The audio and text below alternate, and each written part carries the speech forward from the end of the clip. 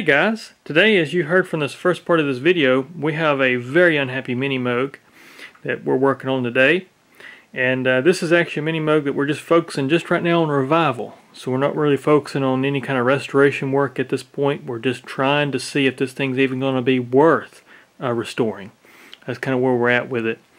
But uh, this Mini Moog, Mini belongs to Neelesh, So Neelesh, uh, video for you so you can actually kind of follow along with the adventure here. And he basically sent it to me with the same concerns. Hey, is this thing even worth restoring or is it even fixable? I think that was the big question that we both kind of had. He had another tech look at it, and of course he pretty much just wrote it off, going, "I'm not touching that thing at all." so, so I ended up with it here. But um, I've kind of got it working, as you can see. Since the first part of the video, I've already started taking it apart. Uh, mostly just cleaning pots because it had a lot of pots that did nothing and that's part of the process here is I have to figure out what's a potentiometer issue and then what's a circuit issue. Because sometimes, you know, a circuit issue can uh, behave just like a dirty pot. In this case, we got a mixture of things that are both. So we have some, some pots that are problems as well as some circuitry that's showing up as some issues. Um, but when this thing came in, it was dead on arrival. It had it made no noise. Um, you know, it would not even make 440 hertz. Powers up, you get the pot light but that was it.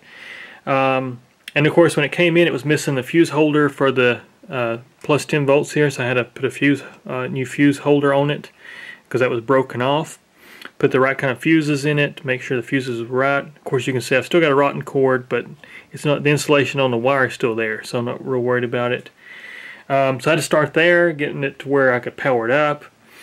And then um, I found out real quickly that nothing worked. I could see that we're getting uh, trigger from the keyboard, we're getting CV from the keyboard, and so I hooked my scope up to the filter output. I could see that the filter emphasis and everything was working. I could see that we're getting some frequency from the oscillators.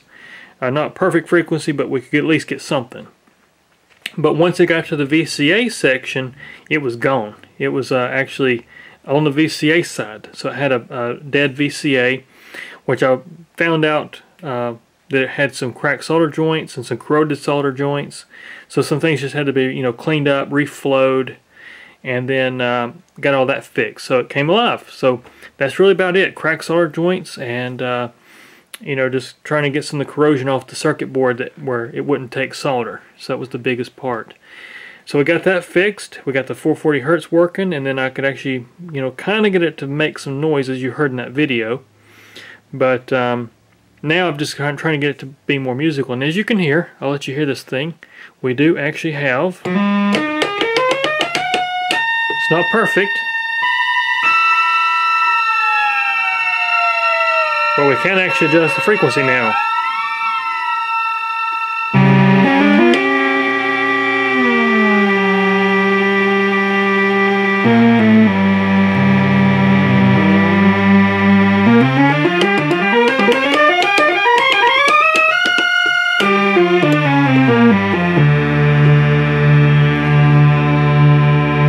So as you can hear, it does actually produce sound now, which is, is great. We still got some pots that are, are they may have to be replaced because I cleaned them and I have to literally take them apart because they're Allen Bradley pots. They're sealed, so I have to heat them up, take them apart.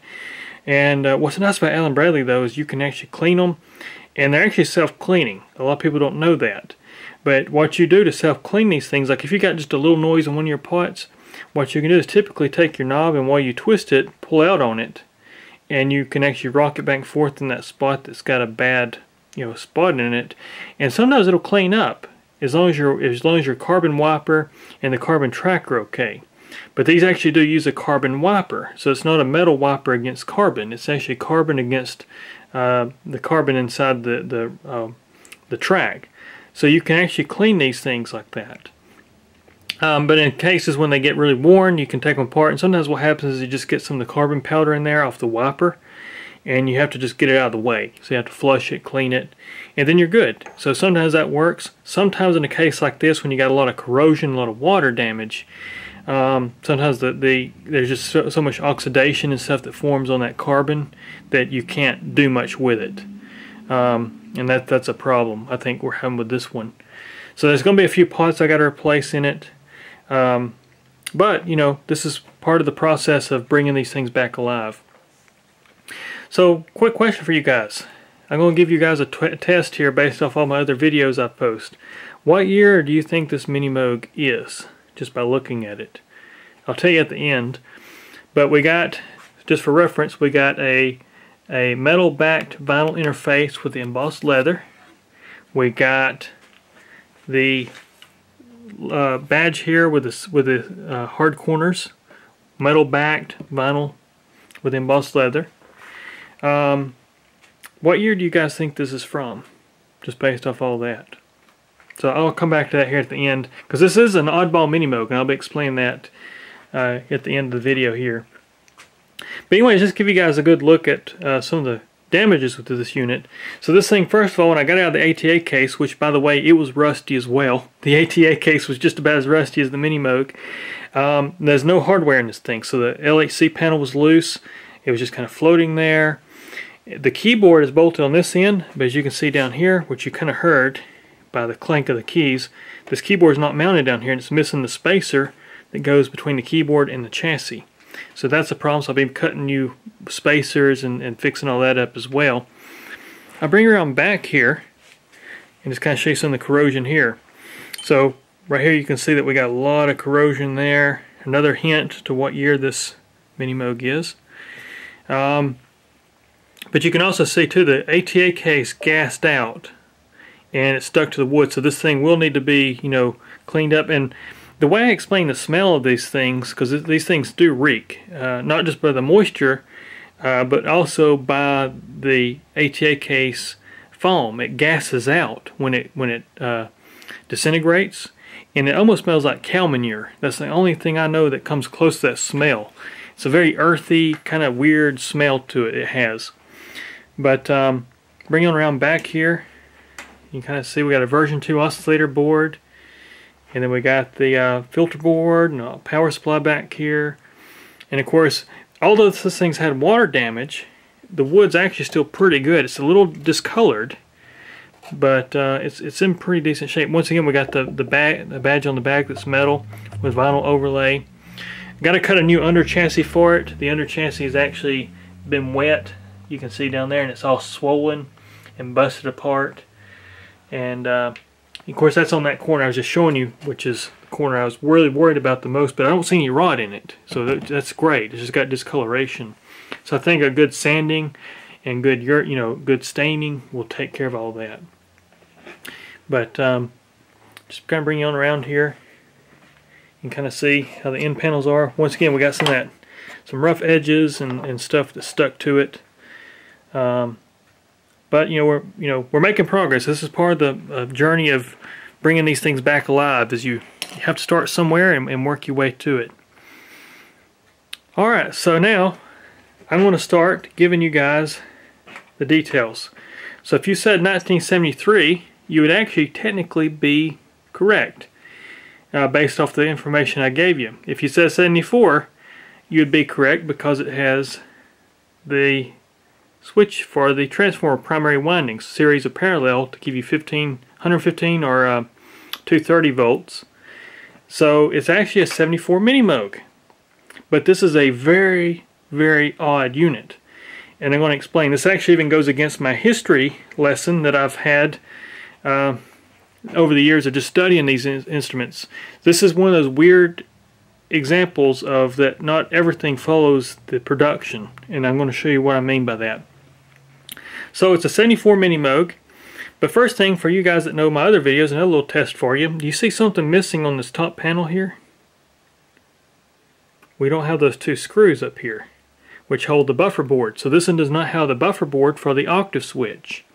And that was something that I thought happened right in January of 74. I thought they carried that right into January of 74, but clearly not. This unit was built on February 18th, 1974. So it's a February 18th, 1974 Mini Moog. Seal number 4198. It's actually, I don't know if you can see that or not. It's kind of hard to see on camera. But there's a 4198. And of course, once again, you see all the rust and corro corrosion and stuff. Excuse me. All the corrosion and stuff going on here. But, um, you know, it's just kind of what it is there. So it's got that.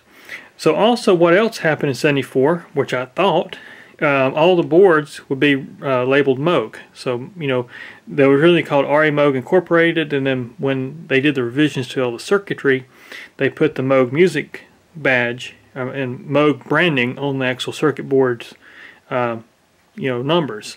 Well, this one does have Moog circuit boards. So the oscillator board's Moog, the backboard's labeled Moog, the power supply's Moog, but we get into this filter board right here which is an RA Moog board. And the easy giveaway, for those that are curious, we got a CTS trimmer here for the scale of the filter. And 74, they start putting a rheostat right here, just like these right here. Now, for my study on this unit, the buffer board being not being there, that's odd. But I believe this board's from a different unit. And the reason I say that is real simply, I can take the back cover here, which wasn't even bolted on either, it was missing all the hardware. You can see there's three holes. So we got the hole right there, that hole, and that hole there for calibration points. That third hole, or that, that center hole right there, would have been for the scale. So you only find that hole on instruments with the rheostat because you cannot calibrate the CTS pot externally because it's turned sideways, which was also a problem with trying to get your filter tracking in correctly because the minute you put the cover on, your thermal accuracy changes and you change the scaling. So that was always an issue with this particular design, but it sounds great. This filter is great sounding. Yeah, another issue too where this uh, trim pot would get bumped by the back cover and it'd crack the solder joints and break it off the solder joints so you'd have a filter that was that was dead. That was also a real common thing that would happen. So yeah, there's some oddities there. But there's also another real weird oddity, and I think this board may be from the same mini Moog that the LHC came from. So when Lee, when uh, Lish was showing me what he had, he sent me some pictures. He sent me a picture of this, which threw me off because in 74 you don't see these stickers. Uh, this is the early style sticker, and I don't even think you really see them that much in 73. In 73, I think these stickers were just about to go away because Norlin had already kind of started, you know, making some changes. You'd see the yellow sticker, the QA and the QC sticker, quality control sticker, but you wouldn't see this style sticker much anymore. Well, this was glued to the LHC. If we look at the dates on this, you can actually see here, so I can get it to focus. Come on, focus. This camera's having a real hard time focusing today for some reason. There it is. If we look, it's 113072. So November 30th, 1972 is when this thing had the electrical test done. So that's this is from a 72 Mini Moog, which is very odd. So I think the filter board and this is from a different unit, just from what I'm getting, because I know for a fact these were not used in this era. But not having the buffer board, that's odd. That's odd. That's a new one for me. So that's kind of interesting. Um, but once again, some of the corrosion, you can see this LHC, the Cinch Jones connector, how corroded it is. It's actually seized together. I can't even get it apart. Um, so that'll be replaced. I'll be cutting all those those the harness off. I'll just cut them, fresh solder joint, fresh wire, uh, clean everything up. Also, I've got some some Cinch Jones jacks that are newer, a little bit different style, but they they work better. So I'll be replacing that. And of course right now you can see I've got the pitch wheel out and I've just got it hardwired here for top frequency. So if you had the wheel turned all the way up I've just got it fixed to the highest frequency because the oscillators do have a problem as well. And uh, trying to eliminate things that cause erratic frequency. So uh, just doing stuff like that. Also clean the pot. That's the pot I showed you earlier. So yeah that's where we are so far with this unit. So lots to, lots to take in lots to go on. But uh, you know, making progress. This is how you do it. But um, anyways, guys, I'll bring you along on the adventure. We, we got a lot to do here, but I'll try to bring you guys in a little bit more than I usually do here. All right, I'm jumping around a little bit here, but uh, just sanded out the chassis here and uh, just done a rough sanding and getting the uh, some of the cracks and stuff filled a little bit It'll be sanded out. Nothing major wrong with this chassis. It's actually still in pretty good shape. But mostly just getting rid of the uh, stain where it was damaged by the ATA case foam and also uh, where it had got a little damp. So just kind of getting the wood back down so I can clean it up real good. Hadn't sanded the top piece yet. As you can see, some of the damages like right there. And of course the foam is still attached to the wood here on the top side. So that's kind of the reason we're sanding this one out and going to refinish it. So it'll look just as great as it's going to sound. But there's the uh, guts over there. I've rebuilt the keyboard assembly. Haven't done alignment yet. But just rebuilt that. Uh, got the interface all removed. And uh, we're making progress here. But just going to give you a little update here before I start uh, doing the final sanding and getting it prepped for, uh, for stain and, and urethane here. Alright, so I just finished sanding everything out for a final sanding here. And what you see now is actually a pre-stain conditioner. And this allows the stain, when I get ready to stain it, to actually uh, absorb into the wood. So this is kind of just a look at how I do these uh, these cabinets. And so this just really helps just to make everything adhere really good so you don't have any like bubbles or any spots that it's missed uh, on this older wood when you apply the stain. That's really the point. But it also gives me a good visual so I can kind of see how the wood grain is going to look uh, before we do anything. I can just kind of get a good idea of it. But uh, you can just see it's going to be a pretty cabinet when I'm done with it. You let this stuff set on there for about 15-20 minutes, wipe it off, and then it's ready for uh, for a stain. We got the insides. Don't worry about the you know internals as much, but mostly just focus on the outer side. When you lift the panel up, everything looks uniform around it. Yeah. So this is where I was kind of concerned about the water damage down here. You can see a little discoloration in that wood, but it's not bad. So I'm very confident this thing's going to be just fine. Somebody has repaired this one in the past though, because when I started sanding it, I found there's some nails, which these things didn't have nails originally. And uh, so there's there's nails in there. But you can also see some of the uh, uh, filler I put in there just to kind of fill some of these little spots that have little nicks and stuff. Sanded back most of what I could, but that just kind of helps take care of some of those little nicks and things and dings and that kind of stuff you really can't just sand out. And also just some of the little small cracks like that you get in this early early wood because these end cheeks are a lot thinner as I've mentioned before. They tend to crack right there in those areas. But um, anyways, gonna let this stay on here a few more minutes and then I'm gonna start the stain process. Alright, it's a few days later here and I've got the stain done and the urethane done. You can just kind of see how beautiful this chassis is going to look when we have it all back together. You can see all this beautiful wood grain and it's well protected. I use a semi-gloss uh, urethane and it just turns out very very pretty as you can see all the way across. It's almost a glass-like finish here. And every time I do these, I learn a little bit different process just from you know experience doing these things on how I want to do the urethane because the urethane's tricky. Um, so it does take a little while to learn how to do it. But you can see just how great everything looks. Across here, all the beautiful wood grain, all the way down. So from what this thing did look like, it's a major difference in how this Mimo is going to look. Let's get the wood down this way as well. Now you will still see like the nails that were in this chassis, somebody had repaired it. I just left those in there. That's one reason I didn't take this thing apart uh, to actually restain this one. But uh, just kind of walk you on around here, let you see this thing. Here's the back of it. Actually, I'm going to go from this angle in the back because I think the lighting will be better that way. Yeah, there you go. Now you can see all the grain down this way here. And of course I filled in most of the little cracks and stuff it had, like right here. So we had a crack right there, which you can see. Uh, you still see a little bit, but I did fill it and I stained the filler. So everything kind of looks uniform there. As close I could get it. I mean, we are still dealing with a vintage chassis. There's some marks and scuffs and dents and you know some stuff I had to kind of work out of this thing. But once again, I don't do the inside all the way. I do the uh, I do redo this parts where you see it when you lift it up. But I don't worry about you know restaining the whole inside cabinet. But um, just mainly the outer where your keyboard sets and your LHC, so you can kind of see how that looks. But also just show you what this thing originally looked like. So here's once again the comparison of the original color.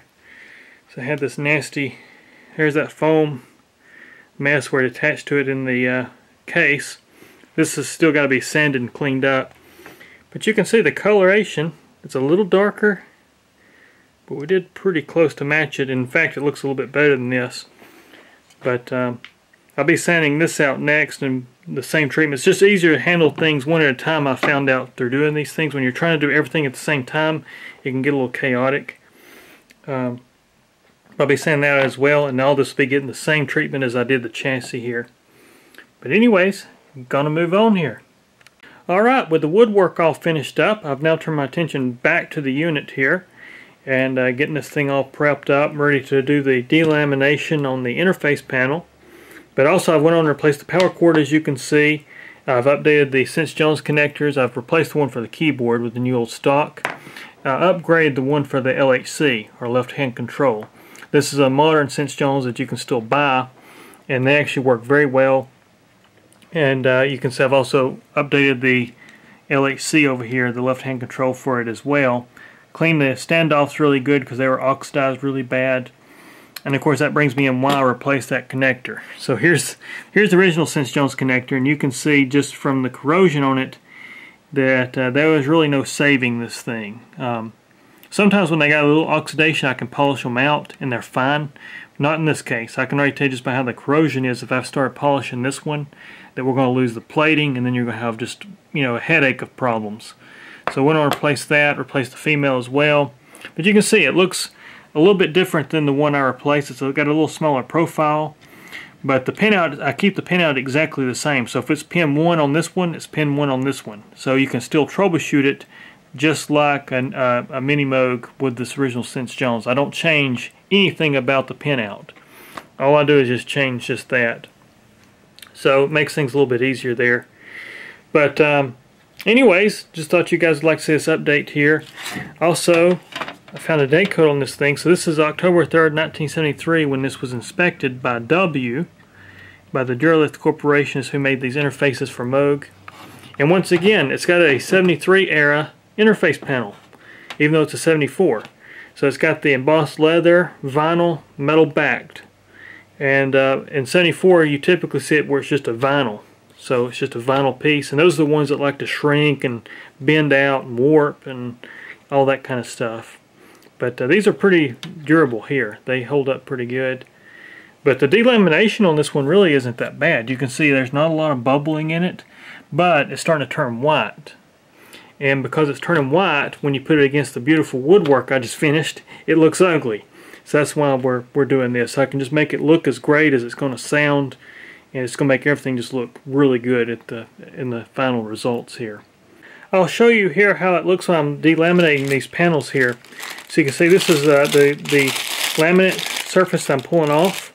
You can see where I've got to here. That's kind of where it's still white. Take that off, you can see now it's starting to look black, but it's still dirty. We still got a lot of the glues and stuff adhered to it, so that's half the battle. Is once we get this off, we got to get those glues off. But uh, you can just kind of see the process here. And once again, what I do is I take a heat gun, like so, and I'll set on the low setting and I'll just kind of heat this up. I'll do a preheat first. So I'll go over this panel, just kind of get it kind of warm. Nothing hot. You don't want to you don't want to melt this thing. But you just want to get it kind of warm to the touch so it's got some heat in it. And then what you do is you just take your heat gun and you just go back and forth while you pull this up behind it. You heat it back here while you lift up and it'll come off slowly. Probably the hardest part of this process is getting you a corner started. And of course you can see this one already had some nicks in this corner. So we had a little nick right there, which actually I was able to grab it right there at that corner because it already had been broken at the glue surface just from that nick. We've got a few nicks in this panel. So you can see there's one right there as well. But you can actually kind of see, so if, I'm going to see if I can zoom in here and show you. You can see that laminate panel right there, it's actually peeled up.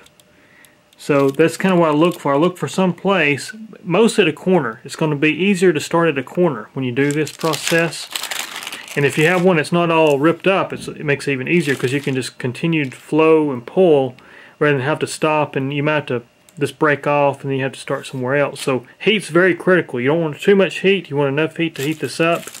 But if it's if you feel this right here starting to melt, then you've got way too much heat. So you just want it to where it just pulls loose. That's the key. But anyways, I'm going to finish removing this and uh, we'll see how it looks when I'm done here. Alright, we now have this Mini Moog all complete here. And as you can see, it looks way different than it did when we started with this thing. It's a much different instrument than it was. Um, but as you guys have seen the process of uh, getting the stain and all that done to the cabinet, as well as the interface delamination removal, but now you can see it without the laminate. So this is a look at it without all the glues and how sharp everything looks and how dark and crisp.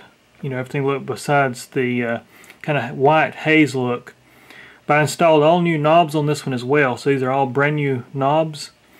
And so they just look just as great as the unit. When I redid all this, the knobs he had was really corroded.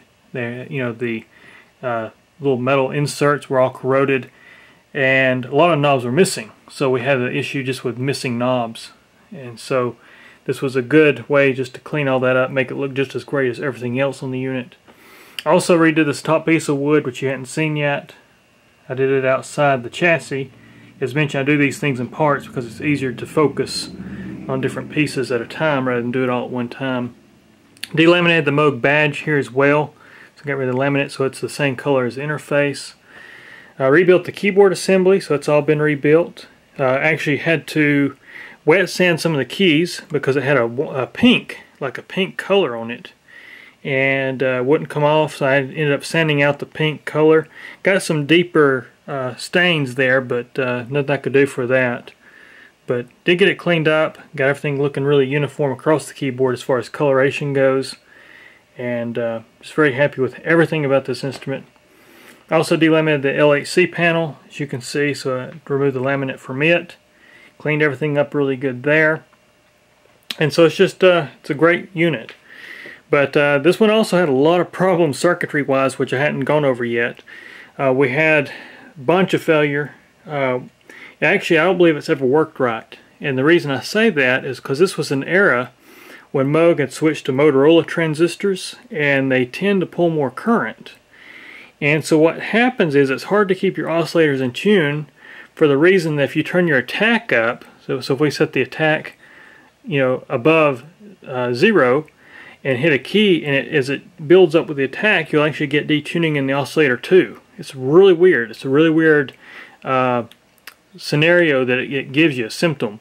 But it's because those transistors pull more current. So replace those transistors, put in a new set of transistors, and uh, took care of that. We had issues with oscillator 1. So oscillator 1 actually was missing all the pulse waves. So anything square, etc. here would not work. And so I checked the uh, rotary switch. It was okay. The voltage divider circuitry for making your pulse widths was okay. But it was actually in the oscillator board itself. We had a shorted transistor in the actual oscillator circuitry for wave shape. So that was a problem there. As bad as this thing was, I only had to replace one potentiometer. Uh, I was able to clean up all the potentiometers. I took them all apart and flushed them, cleaned them really good. But oscillator 3 uh, frequency right here was actually uh, damaged. It had a little small hairpin crack in the carbon and so it was causing a dead dead spot uh, in one little area so I just had to replace that pot altogether with a good replacement. So did that, and uh, that was really it. So I just spent a lot of time cleaning this unit, lots of time cleaning it. Um, and of course, went through all the circuit boards, did all the stuff I typically do these things, you know, to pre uh, prevent problems. Did some upgrades in places to really um, bring in this thing into a uh, much more reliable instrument. Um, so it's just a really great mini Moog. But I'll give you a walk around here. You guys have already seen kind of the wood cabinet, but not as a complete instrument here, so I'll just kind of show it again here. But clean the back, uh, back panel really good, cleaned all this up really good, so now I can get rid of all that, that rust around these jacks here. Uh, all new hardware throughout the unit because it was missing, for the keyboard it was actually missing the uh, spacers for one side, it was missing all the hardware for the keyboard. There's one screw holding the keyboard in place. So uh, all new hardware in the keyboard, all new hardware in the LAC. The LAC was just floating. And of course this panel fell off as soon as I took it out of the ATA case because there's no screws in it. But once again, this is your serial number, Neelesh. So I'll show you this real quick.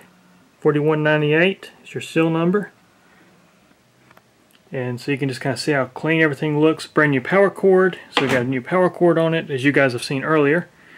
But really just cleaned everything up. Got a new under chassis in it. Uh, this is actually a piece of plywood, so it's not the old particle board stuff. Um, new foam pieces that the interface sets on when you close it, so everything sets nice and uniform. And of course, once again, you can see this upper piece of wood, which was very ugly earlier on. You can see it no longer has that uh, foam attached to it from the ATA case. So sanded all that back and got all that cleaned up. Just looks really, really good all the way around. Cleaned everything up over here in this corner here. But um, like I say, once again, just the wood. The wood looks really good. One thing I did have to do, and I'll bring you back around here and show you. I did have to replace one of your Moog badges. This one right here in particular. So I started doing the delamination process of it because it had the same haze to it. And uh, when I heated it up, it fell apart. And so what had happened, had been cracked before. And uh, when I heated up, the glues turned loose off the actual plastic that was uh, bonded to the aluminum. And so it just kind of fell apart on me. So in that process, I just uh, had this badge here I gave you. And it's actually a really nice looking badge. It's actually a, uh, makes it like a 72 Minimoog because it's a, like an like a what would it be an acid etched badge. It has a very similar style. It's actually screen printed around the Moog logo rather than the Moog logo being screen printed. So it makes it have that acid etched look. It looks really good there. So I did that for you. Of course got your prop all cleaned up. And uh, yeah just really happy with it once again replace that fuse holder that's where we started with this thing was just trying to get it to work so that was part of the adventure there but um, anyways, let me put the camera on the tripod here and I'll give you guys a sound demo. Alright guys, I'm first going to start by showing you a sound with everything kind of combined. Just a instrument sound that I'll break it down like I typically do, all oscillators, the filter, etc. here. Here's just a good sound of it.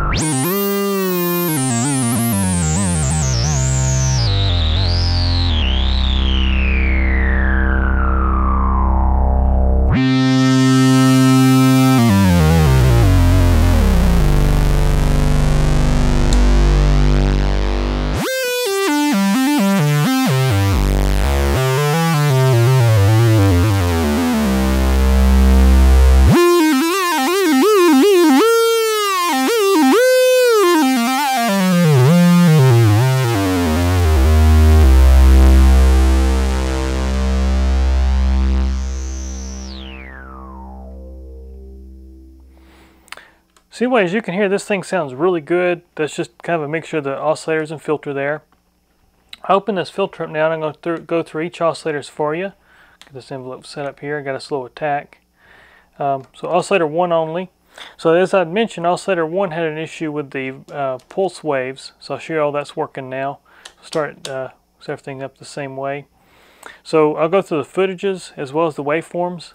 I uh, also changed all the resistors in the footage circuit, the voltage dividers, so we've got accurate uh, footages across the whole range of all three oscillators. So it really makes this thing nice and tight. But uh, here's the uh, sawtooth. Get this thing set up where it'll sustain for me.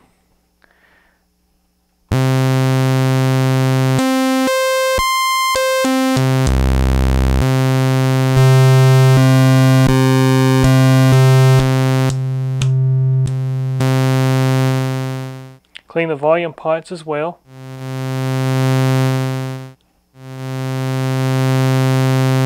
There's oscillator 1, here's oscillator 2.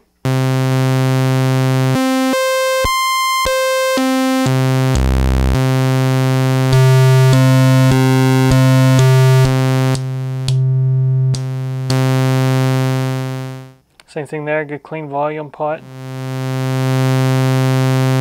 Here's oscillator 3.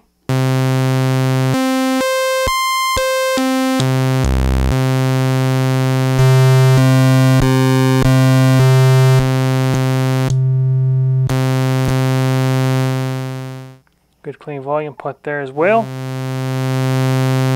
And now I'll show you that your uh, uh, frequency detunes work. So start with oscillator uh, 3. This is the one I replaced the pod in.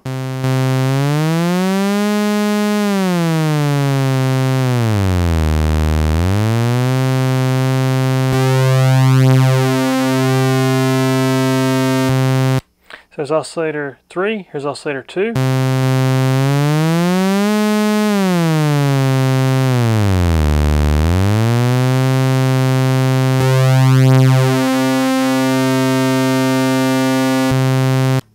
So they are, and you hear how even I can get them across the footages. I also show the interaction between the footages of all three oscillators.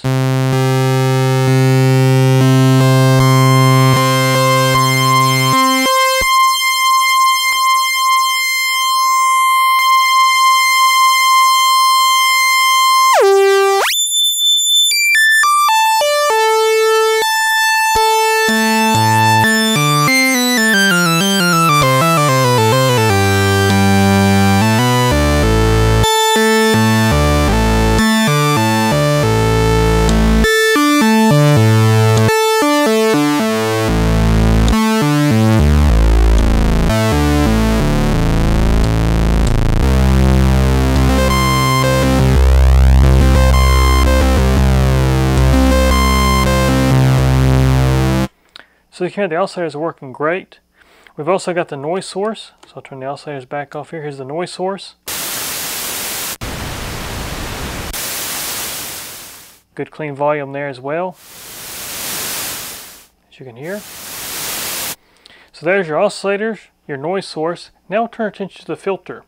So I got the, I'll set the filter up to self-oscillate and we'll actually tune it to the 440 Hertz reference and I'll show you it tracks the keyboard.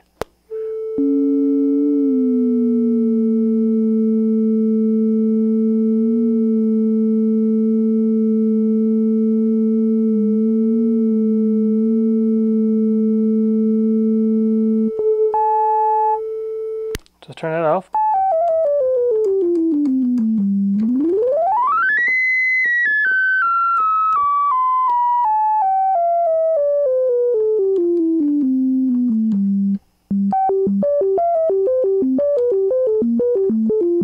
And that's just a filter.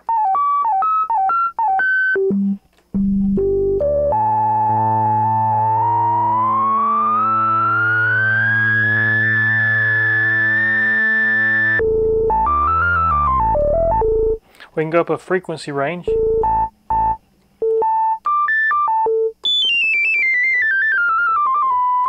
And like I say, these early filters are not exactly accurate because once you close it up, you can't calibrate the scale.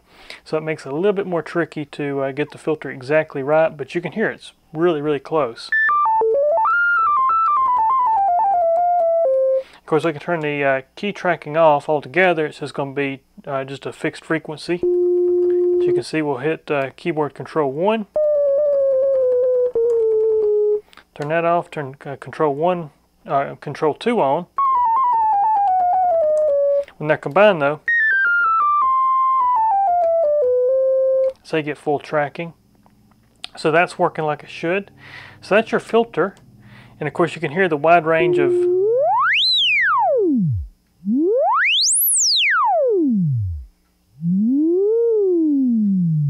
you how clean that pot is there. And so now we'll actually, I'll show you that the uh, contour works. So bring this filter down in frequency. We'll set everything to zero in the uh, filter contour. I'll bring out the mounted contour. Here it's just a, just a click right now. So now we'll bring up the decay.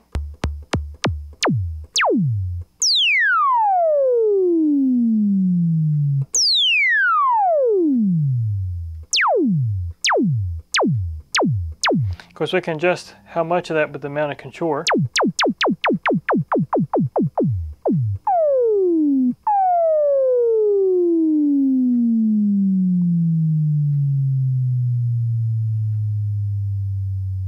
So as your decay time, we got the attack time.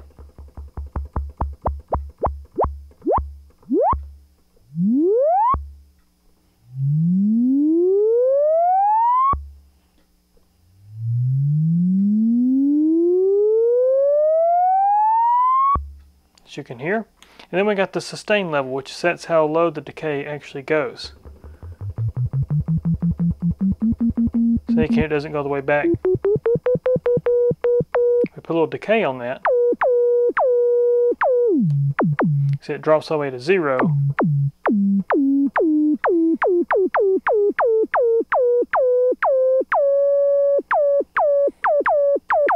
put key tracking on.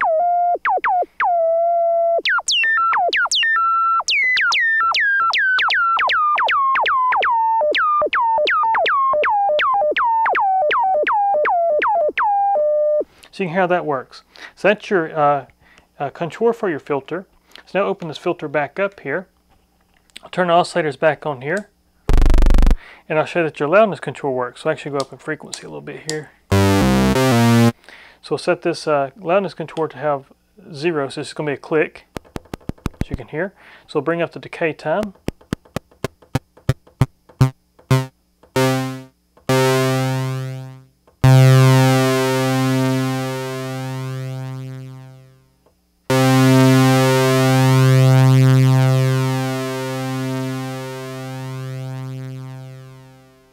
Can see the decay time works. I'll bring it back to zero. Now bring up the attack.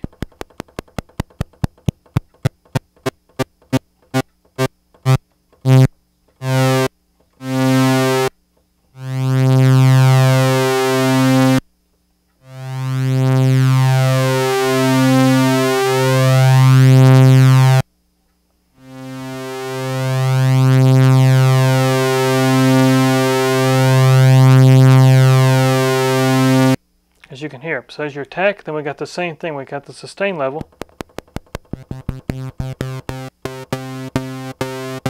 As you get those kind of percussive.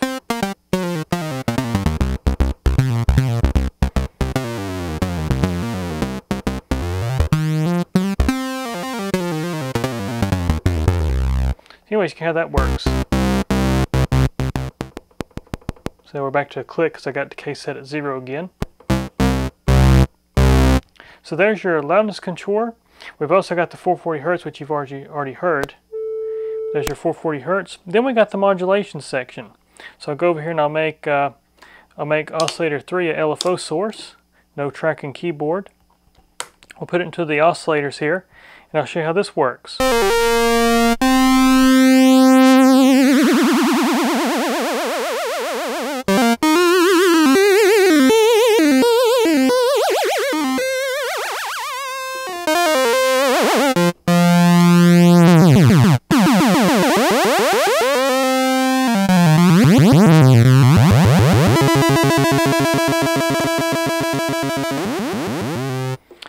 We can the oscillators or the filter. So we'll close this filter up a little bit.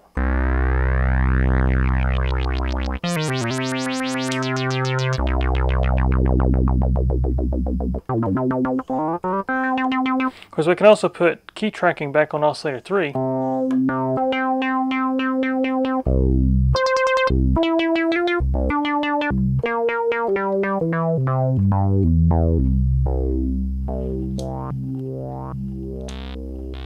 Yeah, it slows down depending on where you're at at the keyboard. So that's your modulation. We've also can uh, inject noise into this using the, this modulation mix. So we'll keep the wheel up here. I'm going to inject it into the oscillators first. So let me actually get oscillator uh, 3 set back up.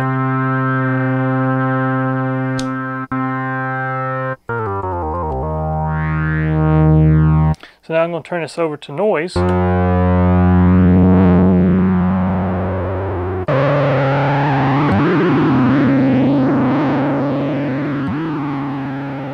I'm between pink and white noise.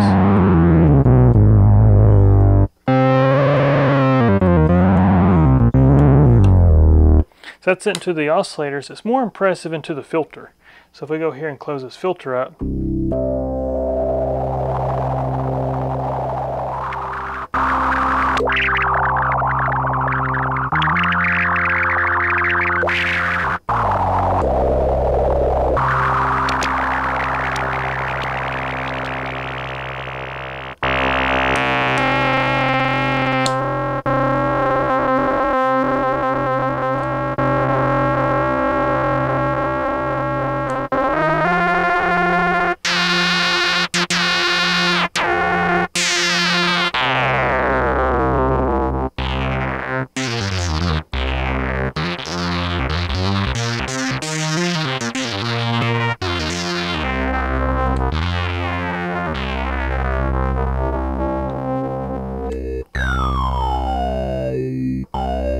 course, we can make the Minimoog talk.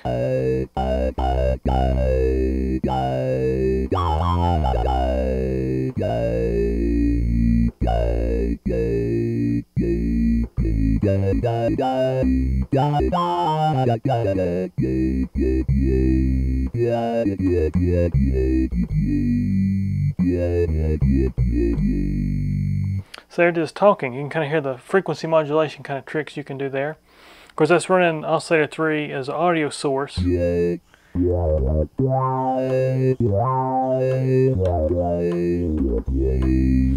And also, back to the oscillators real quick, since I've mentioned the uh, modulation section.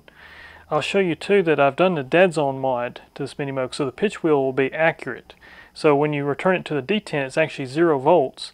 So it makes the oscillators a much more stable, keeps you from having sharps and flats when you use the wheel.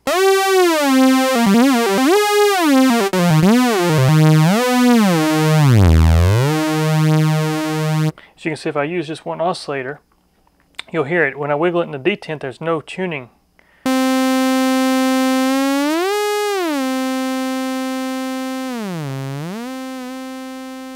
it doesn't affect it till I get outside the detent. So it's a really handy uh, modification there, especially if you use the wheel light. So that's uh, pretty much this Minimoog. I will show you too the uh, glide works. So also we do have the switch here too, uh, which is decay.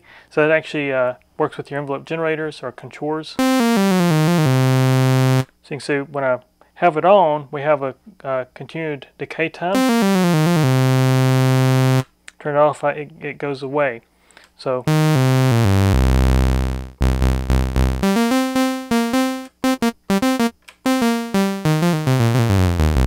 That all works like it's supposed to. Also, I will show you too, because I mentioned those transistors that was recalled, I'll show you this it has no effect on the oscillators. So I've set a slow attack for both the loudness and the filter. Close this filter up a little bit. Okay, I got to turn the oscillator back on there.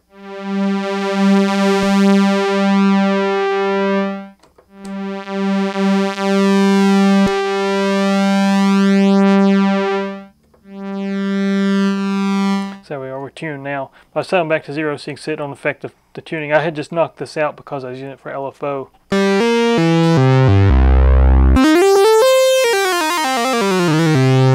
So those are, those are oscillators. Now I'm going to bring up the attack. I'll show you it doesn't affect tuning anymore.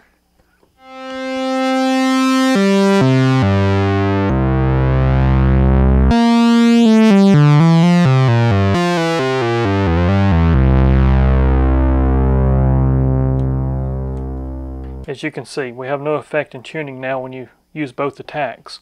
Also, you got your glide.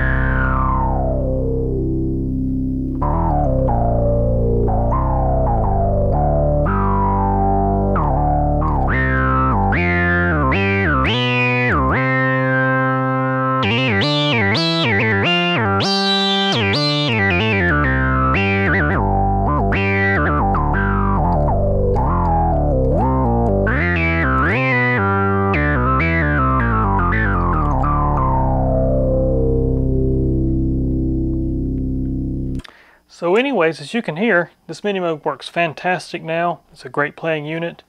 And uh, once again, I want to give you a uh, really good shout out here, Neelesh, for letting me restore this thing for you. And for you guys that watch my videos, really do appreciate it. And there'll be more here to come here very soon. But uh, everybody take care and talk to you soon.